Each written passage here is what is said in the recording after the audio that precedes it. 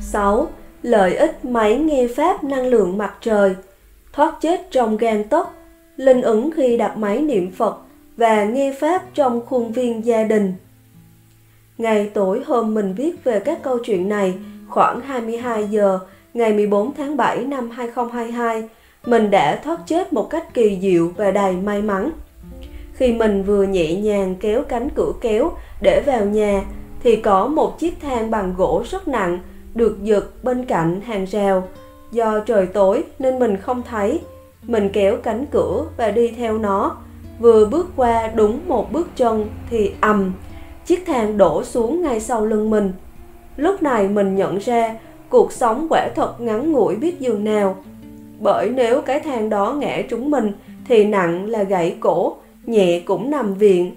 Thật sự may mắn vô cùng, bởi bình thường đẩy cửa mình cũng hay đứng một chỗ mà thôi.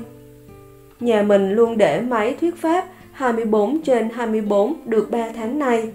Chắc chắn là có nhiều chúng sanh nghe pháp và được từ trường chư Phật bảo hộ nên mình mới may mắn như vậy. Xin cảm ơn chư Phật và chư vị hương linh gia hộ cho con. Nam mô A Di Đà Phật.